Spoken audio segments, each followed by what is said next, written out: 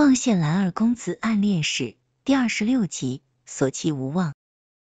又是一年盛夏时节，这次轮到姑苏蓝氏举办清谈盛会，蓝忘机和蓝曦臣并肩来到雅室外，蓝曦臣先进去了，蓝忘机则顿足，看着人来人往，许多去年一同听学的少年们也都跟随各自家的长辈前来凑凑热闹。嘿，江兄！有人大声喊道，随即想起云深不知处禁止喧哗，立马又用手捂了嘴。蓝忘机不看他们，他早就瞥过了。魏无羡不在，一名少年问道：“咦，魏兄怎么没来？”江澄道：“他，与其看他在清谈盛会上打瞌睡丢人现眼，倒不如让他在家也。再说他从不参加清谈会的。江澄往年也不大参加，但他今年已都十六岁了，毕竟是未来的江家家主，也该跟着一同来参加参加这种场合。”哈哈哈哈！不愧是魏兄，有人笑着道。聂怀桑道。而且还是姑苏蓝氏的清谈会，魏兄就更不会来了。他曾经发过誓，说这辈子都不会再来云深不知处。听了这句话，蓝忘机的脸色瞬间变得苍白，这辈子都不想来。也是，他在这里不是受罚抄书，就是被打得浑身是伤，再不然就是被罚跪，不愿来才是合乎常理的吧。蓝忘机忽然想到。似乎魏无羡在云深不知处所有糟糕的记忆，都是来源于他藏书阁抄书，是他亲自坐镇监督的那段时日。魏无羡有多痛苦，有多度日如年，他仍然记忆犹新。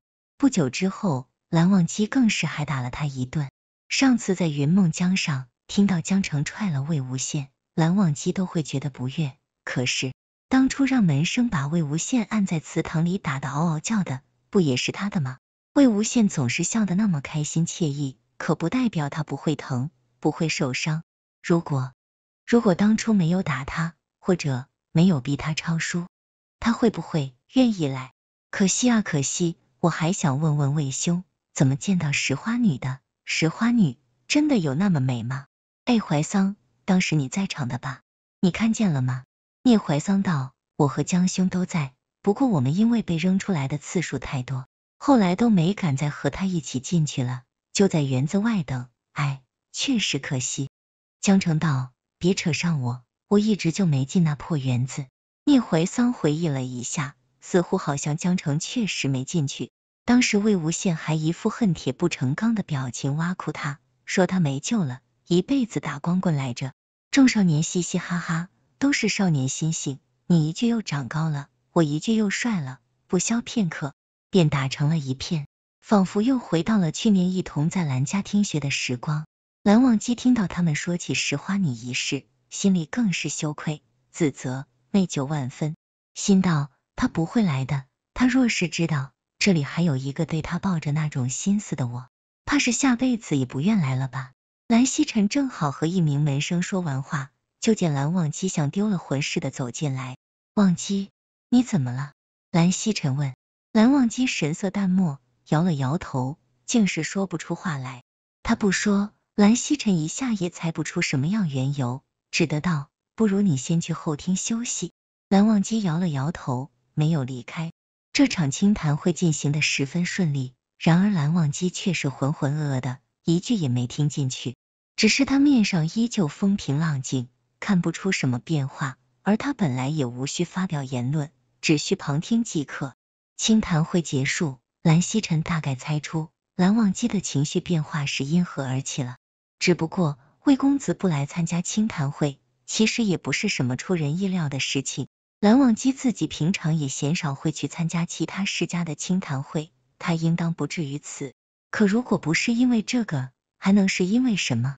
猜不透便不猜了。忘机也不是小孩子了，许多事情。相信他自己也能想清楚，开解自己才怪。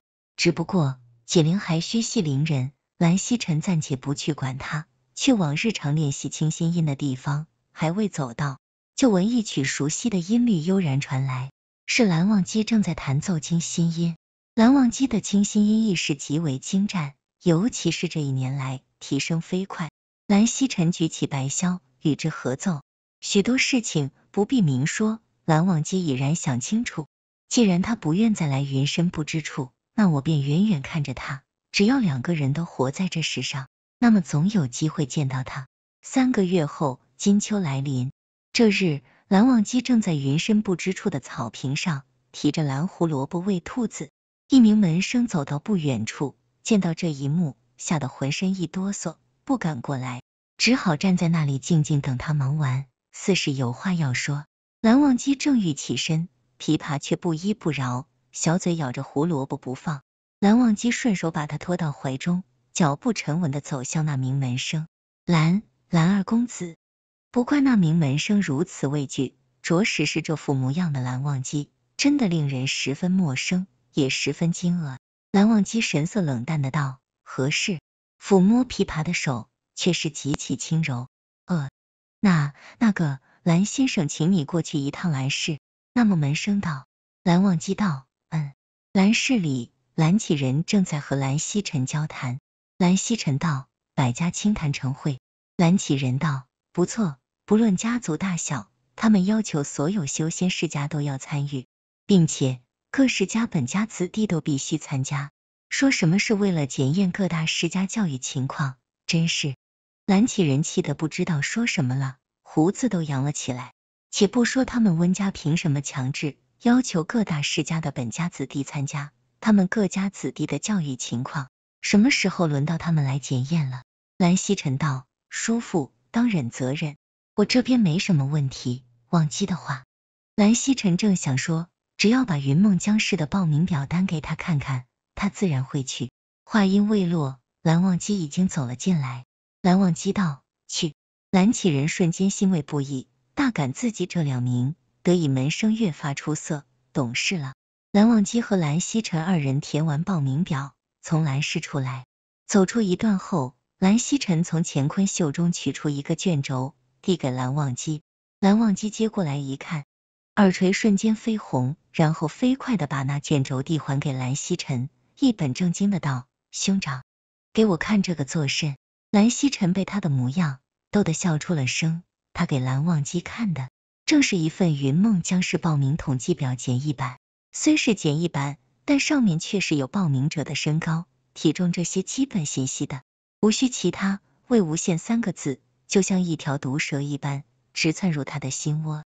岐山百家清谈成会大会为期七天，也就是说，这七天他都有机会见到魏无羡。蓝曦臣离开后，蓝忘机就径直去了冷泉，可一颗心却怎么也平静不下来。